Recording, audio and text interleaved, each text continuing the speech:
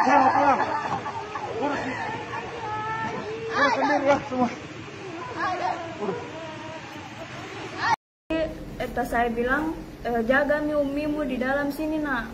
Eh, saya pergi bicara dulu baik-baik sama pimpinan tim gugus. Sebelumnya eta saya sudah bersujud mencium sepatu pimpinan tim gugus memohon untuk kami membawa umi saya itu ke pemakaman keluarga di Bulukumba. Jadi itu saya keluar dengan saya mempercayai satu dokter yang mereka sebut itu Pak Haji. Nah, eh, Pak Haji mengatakan, iya dek, kita akan cuman kafankan ibu. Nanti kalau mau disolatkan, kita tunggu bapak untuk masuk juga sholat sama-sama. Jadi saya percayakan sama Pak Haji saya karena saya berpikir saya tidak ya apa Pak Haji tidak bakalan membohongi saya. Oke, sebelumnya kita memang mau ambil seluruh hak kami membawa jenazah Umi untuk untuk dimandikan, dikafankan dan dimakamkan. Tapi dengan mereka bujuk kami, akhirnya kami melunak dan oke ter- eh, baik Pak, baik dokter silahkan dimandikan, silahkan dikafankan, tapi tolong kami yang bawa untuk dimakamkan. Nah, setelah itu saya keluar, mereka sudah memulai proses eh, tayamum. Ternyata hanya di tayamum, umi saya tidak dimandikan. Padahal umi saya bukan COVID. Umi saya tidak dimandikan, cuma di tayamum. Kemudian baju di badannya dia pakai, dibungkus dengan kafan. Setelah itu mereka bungkus lagi dengan plastik. Betapa hancur hati saya melihat itu. Umi saya bukan COVID dan setelah itu mereka ma- mau masukkan ke dalam peti. Nah kita sebagai orang Islam ya, kita tidak memakai peti untuk di- dikuburkan ibu bapak. Nah saya menolak untuk umi saya dimasukkan ke dalam peti, tolong masukkan ke keranda. Nah mereka menolak itu. Ada satu orang tim gugus sudah menarik tangan saya dengan keras. Saya pun bersikeras memegang peti agar supaya peti itu tidak dimasuki oleh jenazah umi saya. Tapi apalah daya saya satu lawan banyak ya waktu itu. Akhirnya pet- jenazah umi saya berhasil masuk ke dalam peti. Dan saya memohon supaya jangan dulu disolatkan. Tunggu eta saya kembali dari Dari luar dari luar pembicaraan. Mereka tetap tetap membawa umi saya mengangkat peti ke atas meja yang beroda. Dan saya diseret jauh dari peti. Dan saya lihat peti umi saya sudah dipalu-palu ditutup.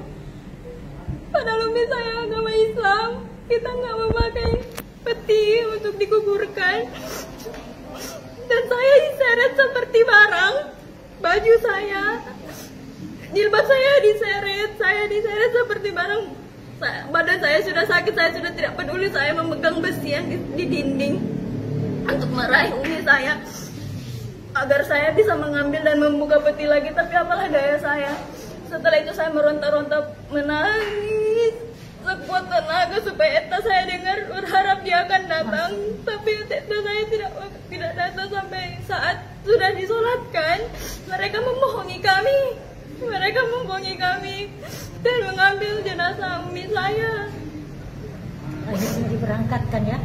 Dan setelah itu mereka membawa jenazah di depan mata saya. Saya pun disekap, disekap agar tidak bergerak.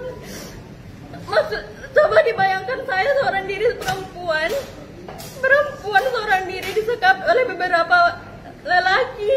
Betapa sakitnya hati saya waktu itu melihat umi saya berjalan di depan. Jenazah jenazah umi saya berjalan. Ini saya tidak bisa melakukan apa-apa.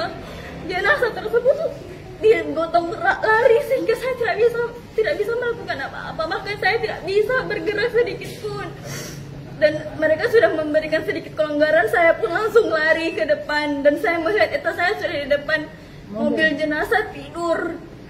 Dan saya pun baru mengerti ternyata ta- tadi itu bukan pembicaraan yang baik tapi salah satu salah satu teknis buat mereka me- me- menyekap eta saya supaya saya tidak ada teman di dalam. Mungkin mereka berpikir saya cuma anak-anak. Saya cuma anak-anak seorang perempuan yang tidak berdaya makanya mereka sengaja mengambil eta saya dan saya pun tidak mau tidak terima saya naik ke atas mobil mobil jenazah supaya saya mengambil apa saya mem- memblok memblok mobil jenazah supaya tidak pergi. Saya melihat adik-adik saya yang tidak sempat melihat jenazah suami saya. Adik saya dua orang masih SMA dan SMP. Mereka tidak sempat melihat untuk terakhir kalinya padahal mereka dari dari malam. Mereka hanya dijanjikan, iya sebentar dek. Eh, kamu pakai baju astronot masuk ke dalam bisa tapi sebentar sebentar sampai pagi tidak ada mereka tidak pernah masuk dan kami di dalam ya sudah memohon sudah bersujud